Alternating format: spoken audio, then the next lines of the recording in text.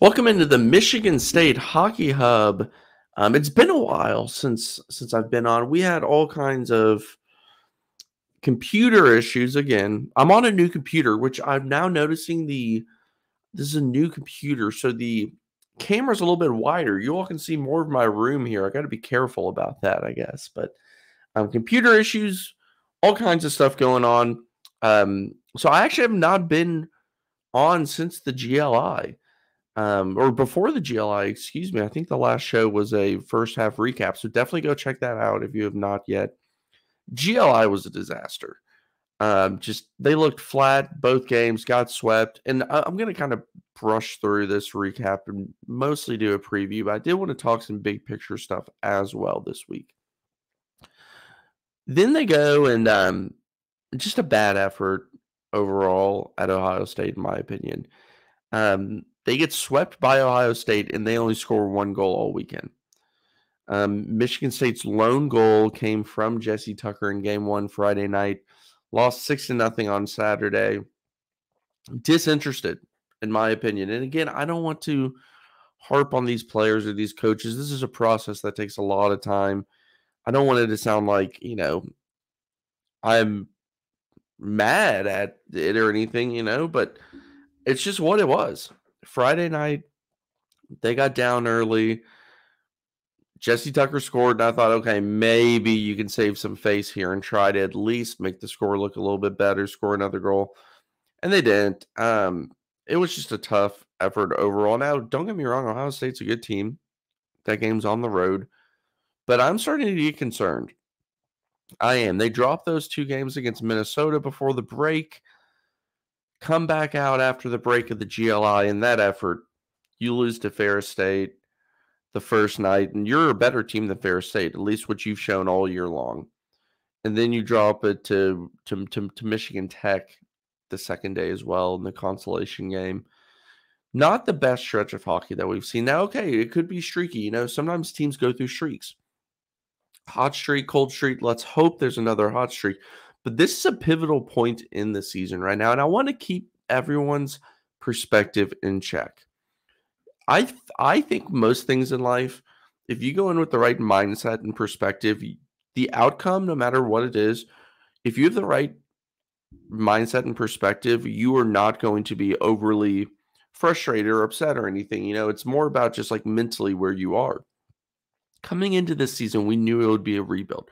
We knew it was it would take time the perspective and mindset should be let's see just how the coaching staff is. Let's see how these incoming freshmen are, the transfers. You know, it's evaluation.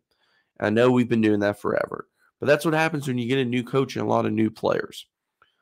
Okay, let's see where they are. Let's see the style. Let's see what they can implement in year one and hope they can build off that in two, three, four, five years out. The recruiting has not taken a dip at all. In fact, it has been significantly better. Significantly better.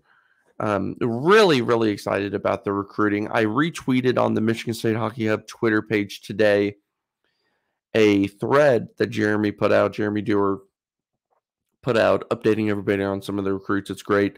I know uh, Brad Le, um, LaPlante has been doing some recruiting as well for Rivals.com some some coverage there. Of course, of course, Nate Bott as well. Um, so the recruiting news is starting to pick up more. Okay, so the coaching, I don't think it's been some huge glare in coaching, right? I think Michigan State has the right guy and the right staff. Check. That's huge, right? That is so big when you're building from the ground up. Michigan State has already accomplished things this year I did not expect them in a million years to accomplish multiple wins against ranked teams, sweeps against ranked teams, top 10 wins. I mean, they've been a good team. They're just hitting a tough stretch. And I'm seeing a lot of people quickly turn back into what they have been the past 10 years, which is kind of, you know, not negative Nancy's, but, you know, frustrated, expecting the worst type of a thing. And it's fair. They've lost seven of eight. It's fair to think that way. I'm just asking that you just try to keep things in perspective. Like when you go to McDonald's, you don't expect to have the best cheeseburger ever, right? And when you get that cheeseburger, you don't get, oh my God, this is, I'm so mad because this isn't the best cheeseburger in the world. We shouldn't expect Michigan State in year one of a new coaching staff to be the best cheeseburger in the world, right? Let's just take it in stride, see what we can take from this season, keep a good mindset going forward, see which players can stick. I think that a lot of the young players are good now. Some of them have hit kind of that that lull, right? Happens a lot with freshmen their freshman year. Um, but overall, you I think you've got the right coach, the right staff, good recruiting, and that's what you need to start building a foundation. They might lose a lot more games this year. They might miss the tournament. It might be a collapse. Okay. No one expected them to be there to begin with.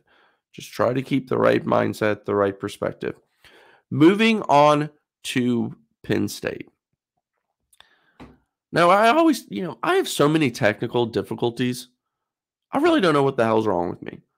But computer issues will now I have Canva issues. Yes, I use, you know, Canva. I'm sure a lot of people are familiar with this.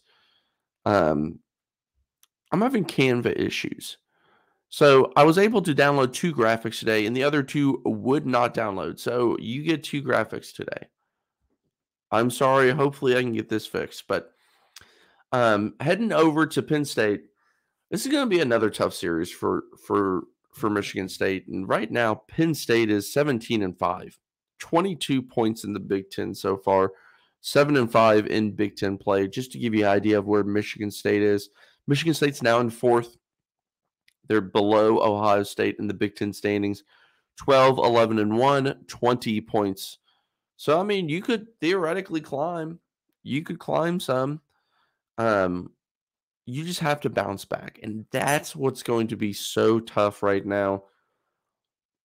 It's just not the best team to have to bounce back against because they're getting pretty good goaltending and they score a bunch. And as you look at these two teams in comparison, Michigan State, here are the special teams breakdown. Michigan State, 17.3% on the power play. That's good for 38th in the nation. The PK has been struggling. I think Maddie wrote an article about that last weekend. You can find that on my timeline or Maddie Warren's timeline. Um, the penalty kill, 81.3%, 23rd. So you've fallen in both of these categories. Um, the power play had been around 20%, 21%. As I mentioned, MSU's lost seven of the past eight scoring two goals or less in six straight. Remember the beginning of the year, it was, oh my God, this team's shooting the puck more. They're scoring a little bit more. You know, this is exciting. Well, they're still shooting a pretty decent amount. They're just not getting the same scoring chances, or excuse me, they're not converting on the at the same rate on their scoring chances. And what we saw last week, you know, was an avoidable icing. A couple of those Friday night that just made me upset. And I don't know why. I usually don't get too upset about something like that. That just happens in games, but I was. Bad turnovers. Been kind of a case all year. Um, passing, not crisp. It was stuff like that. It was focus things on my in my opinion. I'm not saying that they're not focused. There's in that moment they were not connecting. So the goals per game has dropped as well. Now below three at 2.88 goals per game, and they're allowing 2.79. So pretty much you're based only off those stats, you're looking at coin flips, right? Coin flips every game if you're going to win or lose if those stats continue. Look at Penn State 15.8% on the power play, 47th. Penalty kill 79.6, 38th both of those stats, the special teams are not as good as Michigan State, yet they're looking like a much better team, have a much better record so far. This is their first games. This year's their first games of 2023. They did not play last week. Maybe they'll be a little bit rusty, or maybe they'll be rested and ready to go. That's something we're gonna have to find out. I'm hoping it's it's the first part there where they're a little bit rusty. Leading after one period, they're 12 and 1. I don't like that one bit. They get that lead, and then that's what happens when you score a lot of goals. As you can see, they score 3.73 goals per game and only allow 2.36 goals per game. This is a really talented team. And we saw them was a month ago, month and a half ago, whenever that was. Remember that game Michigan State lost Friday night, I believe, in just one of the last 30 seconds or so, Penn State scored. Michigan State got them the next night. That could have been a sweep, would have been huge. This is a much needed bounce back for Michigan State. And it's not season over right now. I truly do not think that. If you can beat Ohio State, or excuse me, if you can beat Penn State this weekend, imagine if you could sweep them, what that would do. Do I think that's likely? No, not the way that this team's playing right now, but we've seen that they are capable of it, right? We've seen that recently. Now, Nash Nienhuis has been out past few games. We'll see if he returns to the lineup. He's a big part of this team, don't get me wrong, but it's not like they're having to play a certain depth player who never plays, right? They went 7D quite a bit. So, like, Viktor Hurtig is slotting in, right? He's playing normal amounts. So now they're rolling six. And you're seeing a lot more Gavin Best, um, a freshman from Minnesota. I believe he's like six, six foot two, you know, a larger body. He's, he's, he's number 27, if you're wondering who that's been. I think he's played okay. Um, tiny sample size, few games. You know, I don't really know. Um, I remember talking to a few people before the season that thought he would be a pretty pretty good player. Um, showed showed some offense at one point in his game previously to Michigan State. So we'll see. But right now, this weekend matchup is just so big. It's so big. You you win one or two here, you as a team realize, okay, we're not dead. You get swept here and you lose nine to 10. Well, I mean, you're doing everything you can to avoid what happened the second part last year, right? Bad losing streak snowballs into just a complete disaster of a second half. You can't have that. There's too much on the line right now in year one. And wins and losses matter, but they're not the most important thing. What I don't want is the team to lose complete confidence. Players are not developing because there's not as much confidence. You know, I'm not saying that's going to happen. I'm just saying that's a possibility. I would hate to see that happen. I think that they get one this weekend. I do. I do. I think Michigan State hopefully wins at least one this weekend. Give me Saturday night when it's a great opportunity as we see here. Let me pull up the graphic again. Power play is only at 15.8% if you can win the special teams battle here, if you can get your penalty kill back on track, and 81.3% isn't awful, you know, it's top third. But if you can get it clicking again of where where it was, I think it's a good opportunity this weekend to do it. Now we know Penn State's going to throw a million shots on goal. Dylan St. Cyr um, did not finish the second game. He was pulled for Pierce Charleston. I think that was just a okay, this game's out of hand. We need to get Pierce some playing time in case we do need him due to injury or anything like that. Don't hate that move at all. Um, it's just I, I just think this is such a crucial weekend because you're in week two of the new year, series two. Let's right the ship here. Let's get a win. Let's get a sweep, whatever it may be, so that we avoid unraveling. Um, either way, before we leave here, let me run through the standings. Again, this standings graphic would not download. So Minnesota is first at 30 points, 16 and 6 overall. Penn State, 22 points, 17 and 5 overall. Third place, Ohio State, 14 and 7 and 1 for 21 points.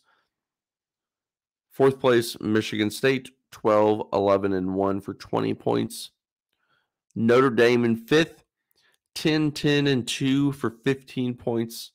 Michigan in six, 12, 7, and 1 for 12 points. Wisconsin, the caboose, seventh place, 9, 13, and 0 overall for six points in the Big Ten standing. So that's going to do it for the Michigan State Hockey Hub this week. A little bit of a preview, a little bit of a recap, a little bit of big picture. We'll be at you again after this weekend's game to recap. Go green.